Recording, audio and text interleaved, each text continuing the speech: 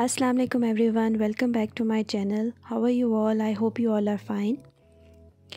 आज मैं आपके पास लेकर आई हूँ रिव्यू एक छोटे से ऑर्गेनाइज़र का, जो कि मैंने ऑर्डर किया था और आज ही मुझे रिसीव हुआ है तो मैंने सोचा आपके साथ इसका रिव्यू शेयर करूँ। ये मैंने ऑर्डर किया था शाकिस कलेक्शन से, जिनका लिंक मैं डिस्क्रिप्शन बॉक्स में शेयर कर दूँगी। ये बहुत छोटा सा क्यूट सा ऑर्गेनाइज़र है, जो कि आपकी बहुत ज़्यादा डेली यूज़ की जो एसेसरीज़ हैं, उसको असम्बल कर सकता है अरेंज कर सकता है। ये कुछ इस तरह से अंदर भी इसकी पॉकेट्स बनी हुई हैं जिन जहाँ पर आप अपनी बड़ी वाली चीज़ें जो हैं वो ऑर्गेनाइज़ करके रख सकते हैं। इसके अलावा इसके सामने ये छोटी छोटी सी पॉकेट्स हैं और साइड पे भी एक बड़ी पॉकेट है और पीछे भी दो बड़ी वाली पॉकेट्स हैं। और इस साइड पे भी एक बड़ी पॉकेट है।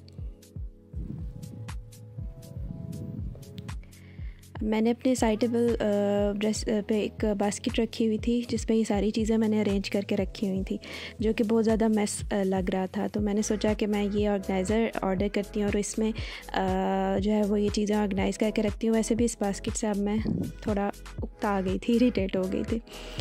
तो अब मैं आपको दिखा रही हूँ कि इन सारी चीज़ों को मैंने इसके अंदर अरेंज करके किस तरह से रखा है। बहुत यूज़फुल सा ऑर्गेनाइज़र है।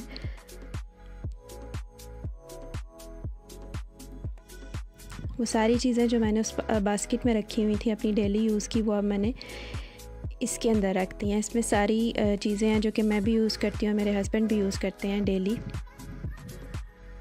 इस सामने वाली पॉकेट्स में मैंने जो मैं यूज़ करती हूँ आई रोल ऑन है, काजल है लिप बाम है तो एक तो लिपस्टिक का शेड है, एक टेस्टर है परफ्यूम और नेल कटर वगैरह, ये सब मैंने अरेंज करके रखे हैं, जो कि हमें किसी भी वक्त जिनकी ज़रूरत पड़ सकती है।